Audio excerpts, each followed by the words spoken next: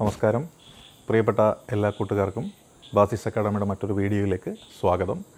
ഇന്നത്തെ വീഡിയോയിൽ നമ്മൾ ചെയ്യാൻ പോകുന്നത് നമ്മളുടെ ആറാമത്തെ മോഡൽ പരീക്ഷയാണ്. അഞ്ച് മോഡൽ പരീക്ഷകൾ നമ്മളിതുവരെ ചെയ്തിട്ടുണ്ട്.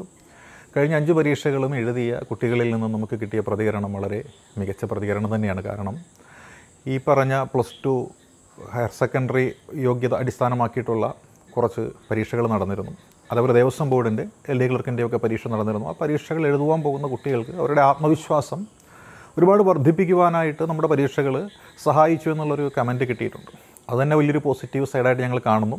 അപ്പോൾ നമ്മൾ ആറാമത്തെ മോഡൽ പരീക്ഷയിലേക്കാണ് നമ്മളിനി കടക്കാൻ പോകുന്നത്. അതിന് തയ്യാറാക്കിയിരിക്കുന്ന സിലബസാണ് അതായത് സെപ്റ്റംബർ മാസം ഇരുപതാം തീയതി മുതൽ ഇരുപത്തി ഒൻപതാം തീയതി വരെയുള്ള പത്ത് ദിവസത്തെ സ്റ്റഡി പ്ലാനാണ് നമ്മൾ ഈ ഒരു വീഡിയോയിലൂടെ പറയുവാനായിട്ട് പോകുന്നതും അപ്പോൾ ക്ലാസ് കേട്ടുകൊണ്ടിരിക്കുന്ന അല്ലെങ്കിൽ വീഡിയോ കണ്ടുകൊണ്ടിരിക്കുന്ന കൂട്ടുകാരുണ്ടെങ്കിൽ ഒരു പേപ്പറിൽ അതാത് ദിവസത്തെ നമ്മളുടെ പതിവ് പോലുള്ള ടൈം ടേബിൾ എഴുതിയെടുക്കുക. ഇതിന്റെ പരീക്ഷ നമ്മൾ നടത്തുന്നത് നമ്മുടെ ടെലഗ്രാം ചാനലിലാണ്. ഇതുവരെ നടത്തിയ പരീക്ഷകളും ഇതുമായി ബന്ധപ്പെട്ടിട്ടുള്ള ആ വിഷയങ്ങളുടെ ഓഡിയോ വീഡിയോ ക്ലാസ്സുകളും പി ഡി എഫ് നോട്ടുകളും ഒക്കെ നമ്മുടെ ഫാസിസ് അക്കാഡമി എന്ന ചാനലിൽ ഉണ്ട്. ആവശ്യമുള്ളവർക്ക് അതിൽ ജോയിൻ ചെയ്ത് കഴിഞ്ഞാൽ അതെല്ലാം ലഭ്യമാണ്. അപ്പോൾ നമുക്ക് ഇരുപതാം തീയതി എന്താണ് നമ്മൾ പഠിക്കേണ്ടുന്നത്? അല്ലെങ്കിൽ ഇരുപതാം തീയതിയിലുള്ള നമ്മുടെ സ്റ്റഡി ടോപ്പിക് എന്താണ്? വെച്ചാൽ പതിവ് പോലെ തന്നെ മലയാളവും ഇംഗ്ലീഷുമാണ് നമ്മൾ ഇരുപതാം തീയതി പഠിക്കുന്നത്. അപ്പോൾ ഇതൊക്കെ മുൻപ് നമ്മൾ പഠിച്ച് മാറ്റിയ ആ അഞ്ച് മോഡൽ എക്സാമുകളിൽ ചോദിച്ചിരുന്ന അല്ലെങ്കിൽ നമ്മൾ പഠിച്ച ആ വിഷയങ്ങളുടെ റിവിഷനും ഇതോടൊപ്പം ചെയ്യുക കാരണം എവിടെ നിന്ന് വേണമെങ്കിലും ചോദ്യങ്ങൾ ചോദിക്കാമെന്ന രീതിയിലായിരിക്കും ഇനി മുതൽ നമ്മളുടെ ചോദ്യങ്ങൾ പ്രത്യക്ഷപ്പെടുക. അപ്പോൾ ഇവിടെ നമ്മൾ നോക്കുന്നത് എന്താണ്? ചേർത്ത് എഴുത്ത് എന്ന് പറയുന്ന ഒരു ഘടകമാണ് അല്ലേ? ചേർത്ത് എഴുതുക. ചേർത്ത് എഴുതുക നമുക്ക് എല്ലാവർക്കും അറിയാം അല്ലേ? നമ്മൾ കണ്ടിട്ടുണ്ട് തിരിച്ചെഴുതാനും ചേർത്ത് എഴുതാനും ഒക്കെ അറിയുന്ന ആൾക്കാരാണ്. അതിൽ ചേർത്ത് എഴുതുക എന്നത് മാത്രമാണ് നമ്മളിവിടെ എടുക്കുന്നത്. അതേപോലെ തന്നെ ഇംഗ്ലീഷ് മേഖലയിൽ നിന്ന് നമ്മൾ ഇതിന് സമാനമായിട്ടുള്ള ഒരു കാര്യം തന്നെയാണ്. അതായത് കോമ്പൗണ്ട് വേഡ്സ് അതാണ് നമ്മൾ എടുക്കുന്നത് അല്ലേ? കോമ്പൗണ്ട് വേഡ്സ് ആഫ്റ്റർ നൂൺ രണ്ടും കൂടി ചേരുമ്പോൾ എന്താണ്? ആഫ്റ്റർ ആയി. ബാക്ക് സൈഡ് ബാക്ക് സൈഡായി ലാപ്പ് ടോപ്പ് എന്തായി മാറി? ലാപ്ടോപ്പായി മാറി എന്ന് പറയുന്നത് പോലെയുള്ള ആ ഒരു കോമ്പൗണ്ട് വേർഡ്സ് ആണ് നമ്മൾ ഇവിടെ ലാംഗ്വേജ് എന്നുള്ള സെക്ഷനിൽ നിന്ന് എടുക്കുന്ന ഇംഗ്ലീഷിന്റെ മേഖലയിൽ നിന്നും മലയാളത്തിലാണെങ്കിൽ ചേർത്ത് എഴുതുക എന്നാണ് പറയുന്നത് അല്ലേ? ചേർത്ത് എഴുതുക. കേട്ടിട്ടില്ല? നമ്മൾ പരീക്ഷയ്ക്കൊക്കെ സ്ഥിരമായിട്ട് ചെയ്യുന്ന കാര്യമാണ് അല്ലേ? അടുത്തത് രണ്ടാമത്തെ ദിവസമായിട്ടുള്ള ഇരുപത്തി ഒന്നാം തീയതിയാണ്. ഇവിടെ നമ്മൾ പതിവ് പോലെ തന്നെ എടുക്കുന്നതാണ്. ഇവിടെ നമ്മൾ എടുക്കുന്നത് മാത്സാണ് ഗണിതശാസ്ത്ര മേഖലയുണ്ട്. അതേപോലെ തന്നെ കറണ്ട് അഫേഴ്സും ഉണ്ട്. ഗണിതശാസ്ത്ര മേഖലയിൽ നിന്ന് നമ്മൾ എല്ലാ പരീക്ഷയ്ക്ക് സ്ഥിരമായിട്ട് ചോദിക്കുന്ന ഒരു ചോദ്യമുണ്ട്. ദിശാവബോധം എന്ന് പറയും. നമ്മൾ ഡയറക്ഷൻ എന്ന് പറയും അല്ലേ? അപ്പോൾ ഡയറക്ഷൻ എന്ന് പറയുന്ന ആ ഒരു മേഖല അതിൽ നിന്നുള്ള ചോദ്യങ്ങൾ നന്നായിട്ട് പഠിക്കുക ഇതിൽ നിന്ന് ചോദ്യങ്ങളുണ്ടാവും ഇതോടൊപ്പം തന്നെ ഇതിനു മുൻപ് നമ്മൾ പഠിച്ചിട്ടുള്ള ആ അഞ്ച് മേഖലയിൽ നിന്നും ചോദ്യങ്ങളും പ്രതീക്ഷിക്കാവുന്നതാണ്. അപ്പോൾ ഡയറക്ഷൻ ഉണ്ടാവും അതേപോലെ തന്നെ കറണ്ട് അഫെയർ ഇവിടെ നമ്മൾ നോക്കുന്ന ഏത് മാസത്തെയാണെന്നറിയാലോ? രണ്ടായിരത്തി ഇരുപത്തിരണ്ട് ഫെബ്രുവരി മാസത്തെ കറണ്ട് ആണ് ഇവിടെ നോക്കുന്നത്. അതായത് March April May June July മാസങ്ങളിൽ ഇത് നമ്മൾ കവർ ചെയ്ത് ഓരോ പരീക്ഷയിലും ഓരോ മാസത്തെ കറണ്ട് ആണ് നോക്കുന്നത്. അതോടൊപ്പം ഇതിന് മുന്നോടിയായിട്ട് നമ്മൾ പഠിച്ച ആ അഞ്ച് മാസങ്ങളിലെ കറണ്ട് അഫെയറിന്റെ ചോദ്യങ്ങളും ഇവിടെ പ്രതീക്ഷിക്കാവുന്നതാണ്. റിവിഷനും ഒപ്പം നടക്കുന്നു എന്നുള്ളതാണ് പ്രത്യേകത. ഇനി ഇരുപത്തി മൂന്നാം തീയതി നമ്മൾ നോക്കിയാൽ ഇരുപത്തി മൂന്നാം തീയതി നമ്മൾ പഠിക്കുന്ന ഏതാണ്? നമ്മൾ പഠിക്കുന്നത് ബയോളജി അതുപോലെ തന്നെ എന്തായിരിക്കാം? കെമിസ്ട്രി പിന്നെന്താണ്? ഫിസിക്സ് ഈ മൂന്ന് വിഷയങ്ങളും അടങ്ങിയിട്ടുള്ള സയൻസ് മേഖലയാണ് നമ്മൾ കൈകാര്യം ചെയ്യുന്നത്. ഈ ബയോളജി മേഖലയിൽ നമ്മൾ നോക്കുന്നത് എന്താണ്? സെൽസ് അഥവാ കോശങ്ങൾ എന്ന് പറയുന്ന ഒരു മേഖലയിൽ നിന്നാണ്. കോശം അതിന്റെ പ്രത്യേകതയാണ് നമ്മളിവിടെ നോക്കേണ്ടുന്നത്. ബയോളജിയിൽ നിന്ന് കോശങ്ങൾ നോക്കുക. കെമിസ്ട്രിയിൽ നിന്ന് നമ്മൾ നോക്കേണ്ടതാണ് ആസിഡുകൾ. അതേപോലെ എന്തുണ്ട്?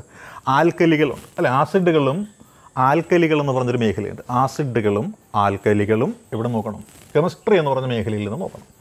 ഇനി അതുപോലെ ഫിസിക്സ് നോക്കണമെന്നുണ്ടെങ്കിലോ സൂര്യനും സൂര്യന് ചുറ്റുമുള്ള ഗ്രഹങ്ങളെക്കുറിച്ചും നോക്കണം. അതായത് സൂര്യനും ഗ്രഹങ്ങളും നമ്മളതിന് പറയുന്ന പേര് സോളാർ സിസ്റ്റം എന്ന് പറയും അല്ലെങ്കിൽ നമ്മുടെ ആ എന്ന് പറയുന്ന ഒരു മേഖലയാണ്. അപ്പോൾ ഈ ഒരു മേഖല കവർ ചെയ്ത് കഴിയുമ്പോൾ സയൻസ് വിപുലമായിട്ട് തന്നെ നമുക്ക് പഠിച്ച് മാറ്റി തീർക്കുവാനായിട്ട് സാധിക്കുന്നതാണ്.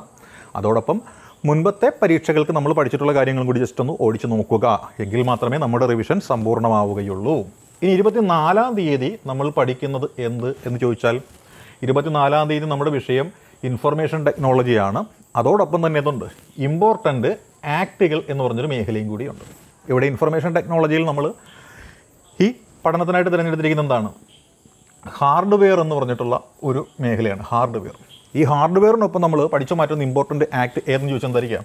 ആ വനിതാ സംരക്ഷണ നിയമങ്ങൾ എന്ന് പറയുന്ന വുമൺ പ്രൊട്ടക്ഷൻ ആക്ടുകൾ എന്ന പേരിൽ കുറേയധികം നിയമങ്ങളൊക്കെ ഇല്ല? ആ വനിതാ കമ്മീഷൻ ഉൾപ്പെടെയുള്ള കാര്യങ്ങളൊക്കെ ഇതിനകത്ത് വരും.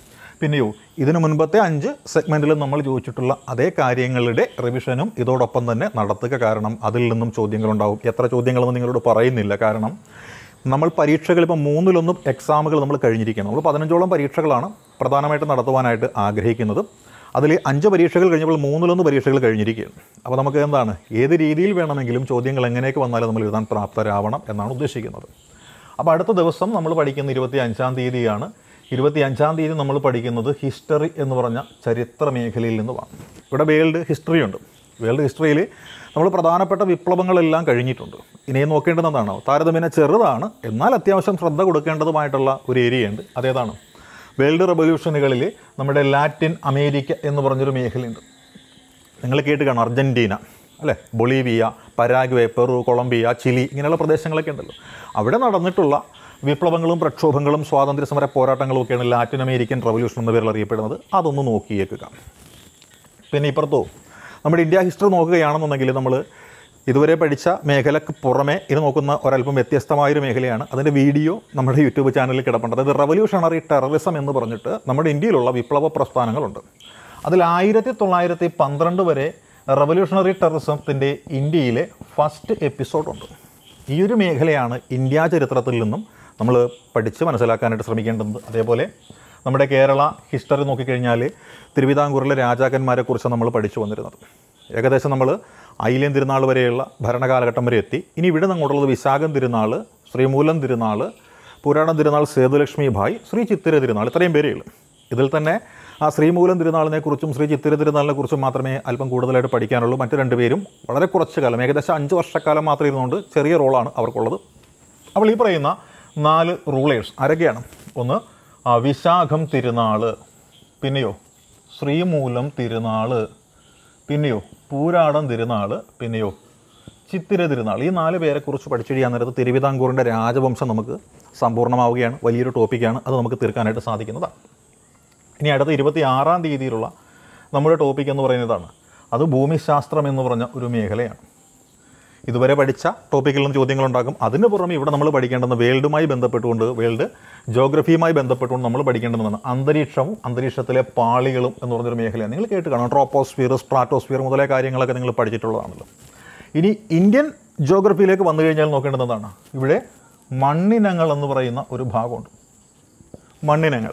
കേട്ട് കാണും നിങ്ങൾ. അല്ലേ? എക്കൽ മണ്ണ് കറുത്ത മണ്ണ് ചെമ്മണ്ണ് ചെങ്കൽ മണ്ണ്. ഇതൊക്കെ കേട്ടിട്ടില്ലേ? അത് തന്നെ കേരളത്തിലും ഈ സെയിം സാധനം തന്നെ നോക്കിയാൽ മതി. കേരളത്തിലെ പ്രധാനപ്പെട്ട മണ്ണിനങ്ങൾ ഏത് എന്ന് നോക്കിയാൽ കേരളത്തിന്റെ ജോഗ്രഫിയും നമുക്ക് പൂർത്തിയായി കിട്ടുകയാണ്. ഇനി ഇരുപത്തി ഏഴാം തീയതി നമ്മൾ പഠിക്കാൻ പോകുന്ന ഏതാണ്? അത് ഈ എക്കണോമിക്സ് എന്ന് പറഞ്ഞ ഒരു മേഖലയാണ്. എക്കണോമിക്സ് സാമ്പത്തിക ശാസ്ത്രമാണ്. ഈ സാമ്പത്തിക ശാസ്ത്ര മേഖലയിൽ നമ്മൾ പഠിക്കേണ്ടത് എന്തിനെക്കുറിച്ചാണെന്ന് അറിയാമോ അത് സൂചികകൾ എന്ന് പറയുന്ന ഒരു ചെറിയ ടോപ്പിക് ഉണ്ട്. സൂചികകൾ. നിങ്ങൾ കേട്ട് കാണും അല്ലേ? ഏതൊക്കെ ഇൻഡെക്സുകളെ കുറിച്ച് നിങ്ങൾ കേട്ടിട്ടുണ്ടാകും? ഹ്യൂമൻ ഡെവലപ്മെന്റ് ഇൻഡെക്സ് മാനവ വികസന സൂചിക അല്ലേ? ഗ്ലോബൽ ഹങ്കർ ഇൻഡെക്സ് ആഗോള പട്ടിണി സൂചിക അല്ലേ? പിന്നെയോ ഗ്ലോബൽ ഹാപ്പിനെസ് ഇൻഡെക്സ് കേട്ടിട്ടില്ലേ? ഇങ്ങനെയുള്ള പ്രധാനപ്പെട്ട ഇൻഡെക്സുകൾ സാമ്പത്തിക സൂചികകൾ എന്ന് പറയുന്ന ആ സൂചികകളെക്കുറിച്ചാണ് നമ്മൾ ഈ ഇരുപത്തിയേഴാം തീയതി പഠിക്കേണ്ടത്. അപ്പോൾ ഇതിന് മുൻപ് നമ്മൾ തന്നിട്ടുള്ള ടോപ്പിക്കിലുള്ള എല്ലാ കാര്യങ്ങളും ഉണ്ടാകും. അത് കണ്ടിട്ടില്ലാത്ത ആൾക്കാരുണ്ടെങ്കിൽ എന്ത് ചെയ്താലും മതി. നമ്മുടെ മുൻ വീഡിയോകൾ ഒന്ന് നോക്കിയാൽ മതി. ഏകദേശം ഇത് ആറാമത്തെയാണ്. അപ്പോൾ അഞ്ച് വീഡിയോകൾ നമ്മൾ ടൈം ടേബിളിനെ കുറിച്ച് മുൻപ് ചെയ്തത് നമ്മുടെ ടെലഗ്രാം ചാനലിൽ കിടപ്പുണ്ട്. അത് നോക്കിയിട്ട് നിങ്ങൾക്ക് ചെയ്യാവുന്നതാണ്. ടെലഗ്രാം ചാനലിൽ ജോയിൻ ചെയ്യാനായിട്ട് വലിയ ബുദ്ധിമുട്ടൊന്നുമില്ല. ബാസിസ് അക്കാഡമി എന്ന് ടെലഗ്രാം ചാനലിൽ സെർച്ച് ചെയ്ത് കഴിഞ്ഞാൽ നിങ്ങൾക്ക് ജോയിൻ ചെയ്യാനായിട്ട് സാധിക്കുന്നതാണ്. ഇനി ഇരുപത്തി എട്ടാം തീയതി നമ്മൾ നോക്കിയാൽ അവിടെ നമ്മൾ നോക്കുന്ന എന്താണ്? കോൺസ്റ്റിറ്റ്യൂഷൻ അല്ലെങ്കിൽ നമ്മുടെ ഭരണഘടനയുമായി ബന്ധപ്പെട്ടിട്ടുള്ള കാര്യങ്ങളാണ് ഉള്ളത്. ഇവിടെ കാര്യമായിട്ട് പഠിക്കാനായിട്ട് നമ്മളൊരു ടോപ്പിക് എടുത്തേക്കുക അതിന്റെ പേരാണ് directive principles of state policy അഥവാ മാർഗനിർദ്ദേശക തത്വങ്ങൾ എന്ന് പറയുന്നൊരു മേഖലയാണ്. അപ്പോൾ മാർഗനിർദ്ദേശക തത്വങ്ങൾ ഇരുപത്തി എട്ടാം തീയതി പഠിക്കുക അല്ലേ? അപ്പോൾ ഇരുപത് ഇരുപത്തൊന്ന് ഇരുപത്തി ഇരുപത്തി രണ്ടാം തീയതിയാണ്. നമ്മൾ തീയതി ഇവിടെ മാറിയപ്പോൾ ഒന്ന് കറക്റ്റ് ചെയ്തേക്കണം കേട്ടോ. ഇരുപത്തി മൂന്ന് ഇരുപത്തി നാല് ഇരുപത്തിയഞ്ച് ഇരുപത്തി ആറ് ഇരുപത്തി ഏഴാണ് അടുത്ത എന്താണ്? ഇരുപത്തി എട്ടാം തീയതി. അത് നമ്മുടെ ഒമ്പതാമത്തെ ദിവസമാണ്. ഇരുപത്തി എട്ടാം തീയതി എന്ന് പറയുന്ന നേരത്ത് ഒൻപതാമത്തെ ദിവസമാണ് നമുക്ക് വരുന്നത്. ഇവിടെ പഠിക്കേണ്ടുന്ന കാര്യം എന്തെന്ന് ചോദിച്ചാൽ എന്തായിരിക്കാം? ഇവിടെ പഠിക്കാനായിട്ടുള്ള കാര്യം വേറൊന്നുമല്ല. നമ്മുടെ മലയാള സാഹിത്യവുമായി ബന്ധപ്പെട്ടിട്ടുള്ള കുറച്ച് അപ്പോൾ സാഹിത്യ മേഖല ഇവിടെയുണ്ട്. പിന്നെന്തുണ്ട്? നമ്മുടെ കേരള ഭരണമുണ്ട്. അപ്പോൾ കേരള ഭരണത്തിൽ നിന്ന് നോക്കിയാൽ പ്രധാനപ്പെട്ട ചില കമ്മീഷനുകളൊക്കെ ഉണ്ട്. അല്ലേ? ഭരണ പരിഷ്കാര കമ്മീഷൻ ശമ്പള കമ്മീഷൻ മുതലായ കുറച്ച് കമ്മീഷനുകൾക്കുണ്ട്. ചെറിയ ടോപ്പിക്കാണ്. അല്ലേ? അപ്പോൾ കേരളത്തിലെ പ്രധാനപ്പെട്ട കമ്മീഷനുകൾ എന്ന് പറയുന്ന ഒരു മേഖല നോക്കുക. അതിന്റെ കൂടെ പഠിക്കേണ്ടത് എന്താണ്? സാഹിത്യരംഗമാണ്. ഇവിടെ എന്തുണ്ട്? സാഹിത്യകാരന്മാർ ധാരാളമുണ്ട്. അവരുടെ അപരനാമങ്ങൾ അല്ലേ? സാഹിത്യകാരന്മാരുടെ അപരനാമം പിന്നെയോ? അവരുടെ കൃതികളൊക്കെ എഴുതുന്ന സമയത്തുള്ള തൂലികാനാമങ്ങളൊക്കെ ഉണ്ടല്ലോ. അങ്ങനെയുള്ള തൂലികാനാമങ്ങളും അപരനാമങ്ങളും കൂടി പഠിക്കുക. അപ്പോൾ ഒന്ന് രണ്ട് മൂന്ന് നാല് അഞ്ച് ആറ് ഏഴ് എട്ട് ഒൻപത് ഒൻപത് ദിവസത്തെ പഠനം. അതിനുശേഷം നമ്മുടെ പരീക്ഷ വരുന്നത് ഇരുപത്തി ഒൻപതാം തീയതിയാണ്. ഇരുപത്തി ഒൻപതാം തീയതിയുള്ള നമ്മുടെ പരീക്ഷ എന്ന് വെച്ചാൽ നൂറ് മാർക്കിലാണ് നമ്മുടെ പരീക്ഷ. ഈ നൂറ് മാർക്കിൽ നമ്മൾ എത്ര നേടണം? അൻപത് മാർക്ക് എന്നുള്ള കടമ്പ കടക്കാനായിട്ട് ശ്രമിക്കുക. കാര്യം അമ്പത് മാർക്കാണ് നമ്മൾ ഈ ആറാമത്തെ പരീക്ഷയ്ക്ക് കട്ട് ഓഫ് ആയിട്ട് നിശ്ചയിച്ചിരിക്കുന്നത് കേട്ടോ. അപ്പോൾ ഈ അൻപത് മാർക്ക് നേടിക്കഴിഞ്ഞാൽ നിങ്ങൾക്ക് ഉറപ്പിക്കാം. വരാനിരിക്കുന്ന ആ മെയിൻ പരീക്ഷയിൽ നിങ്ങൾ ഉറപ്പായിട്ടും റാങ്ക് പട്ടികയിൽ എത്തിപ്പെടുന്ന ആളാണ് എന്നുള്ള ആത്മവിശ്വാസത്തിൽ നിങ്ങൾക്ക് പഠിച്ചു പോകാനായിട്ട് സാധിക്കും. കാരണം അൻപത് ശതമാനം എന്നുള്ളതാണ് നമ്മുടെ കട്ട് ഓഫ് അപ്പോൾ ഉഴപ്പ് എന്നതൊക്കെ നിർത്തിയിട്ട് നല്ല രീതിയിൽ പഠിച്ച് തുടങ്ങുവാനുള്ളൊരു ശ്രമം എല്ലാവരുടെയും ഭാഗത്തുനിന്ന് ഉണ്ടാവും എന്ന് പ്രതീക്ഷിച്ചുകൊണ്ട് ഈ ടൈം ടേബിൾ നിങ്ങൾക്കായിട്ട് നൽകുന്നു. Good night.